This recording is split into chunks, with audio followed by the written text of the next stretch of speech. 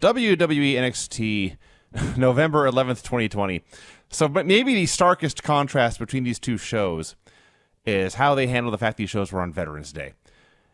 NXT or AEW put up a quick graphic, like 10 seconds. They did their usual opening, lots of thank you veteran signs from fans and people alike, and the announcers referenced it and they moved on. NXT, long Veterans Day video, tribute to the troops footage, all the stuff they've done overseas, long graphics, there's flags everywhere, the whole nine yards, and not only was it completely unsubtle, but it was as much a celebration of what they have done on Veterans Day as it is Veterans Day itself. Well, that's That- what they do. That is what they do. That Yes. is what they do. But they got a video package on there, so that was nice. That was very nice. Johnny Gargano was in the ring as promised. He is going to defend his North American title. He's going to end the curse, he claims. He has a wheel of challengers. And there's this wheel set up in the middle of the ring, and there's Dexter Lumis's name, and Roddy, and Pete, and Bronson. And then they have taken athletic tape and covered up a name, and in Sharpie written, Leon Ruff. And he says, I'm the first time, I'm the first two time North American champion. I liked the tape, but what? You're telling me that they had an NXT wheel that had everyone's name on it? Yes, Bryan, this has been Mike- ready to go for months now. I would think from watching the show that Johnny Gargano just made his own fucking wheel. So why didn't he make a wheel that had Leon Ruff's name on it? He just came across a wheel that had everybody in NXT's name on it, and he had to put a piece of tape over it with Leon Ruff's name. He had a It was wheel very made. wacky. He had a wheel made with one blank spot left. When he got there, you see who the weakest man in the building was. He would write that name in. So he notes he was a two-time North American champion, the only two-time North American champion. But of course, the first time he won that North American title, he lost it on his first defense. Just like when he won that NXT championship, he also lost it on his first defense. He's cursed, I tell you. But tonight we reverse the curse. And he goes to spin the wheel, and it is so plainly, clearly, obviously gimmicked, which is part of the appeal of this. It's spinning back and forth, settling down on Leon Ruff's name. I'm laughing my ass off. Johnny marvels at Leon Ruff. What an opportunity for this young man, and how unpredictable this whole thing is. So it's Johnny Gargano versus Leon Ruff for the North American title. From the point the wheel stopped spinning to the moment the match begun, you have never seen a nicer, friendlier, kinder, more likable Johnny Gargano. He's over the moon happy for Leon Ruff. Can't wait to welcome him to the ring. Raises his hand, asks for a big ovation, and the bell rings. He just starts whipping his ass. So he's beating him here, beating him there. They're brawling outside the ring, and Damian Priest scares Johnny. And Johnny jumps back in the ring, and he gets hit with a schoolboy for two, but he kicks out of that. And a few minutes later, not a few minutes, a few seconds later, he tries something, but Leon hits a crucifix bomb, wins the match, wins the title. Leon, to- Yeah, he tried a super kick.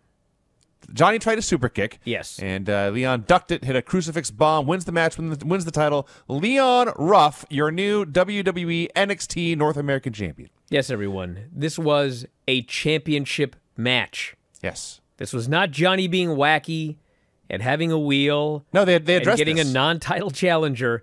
This was for the title, and he lost the title to Leon Ruff. Yes. So the post match. Now the whole thing is Johnny has a curse. Johnny thought he had rigged the system to beat the curse, and now Johnny has failed. The whole story is about Johnny, but the post match is all focused on Leon Ruff being shocked. Damian Priest laughing his ass off. There's one quick shot of Johnny and the ref playing tug of war, but that was it. We needed, if they're gonna do this, we needed more Johnny in the post match. So we go to commercial. We come back. Leon is congratulated as he comes backstage.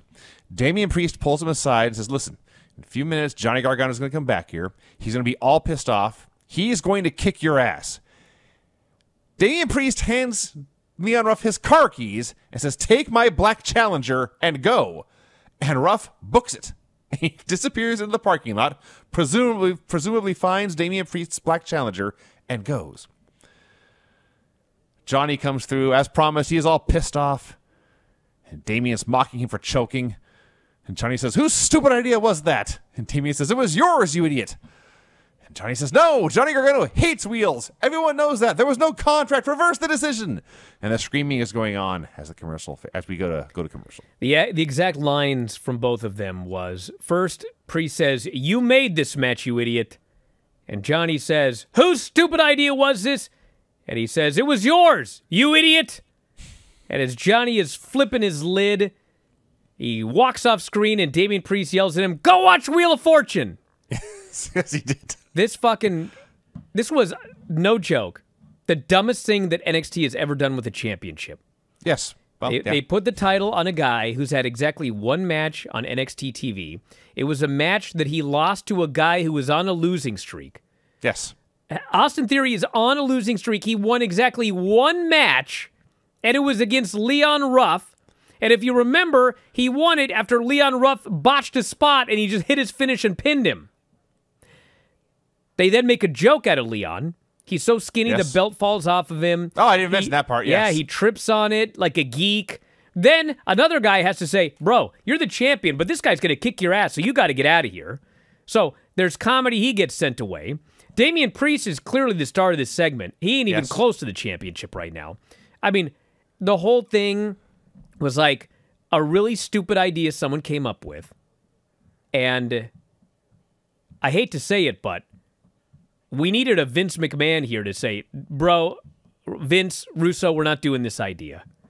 But there was no Vince McMahon here. And so Vince Russo went through with this idea, and this fucking thing made television.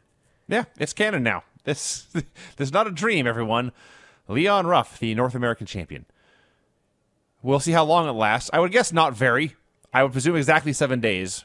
They'll figure something out. But uh, yeah. So remember when we watched Halloween Havoc and this finish confused us and we were told there's more to come? Yeah. This was it. This is the more to come. And I'm sure there's more to come from this more to come. If you're a big fan of these video clips here on YouTube, you're missing out on full length shows. Down there on the bottom right hand side of the screen, click that join button, and when you sign up, you'll have full access to all of the shows that we've got up on YouTube, over 300 at current count. Wrestling Observer Live, The Bryan and Vinny Show, and Figure 4 Daily with Filthy Tom Lawler and Lance Storm. Hit the join button, sign up today. You can also click subscribe, and you'll always be alerted as to when new shows and clips are available.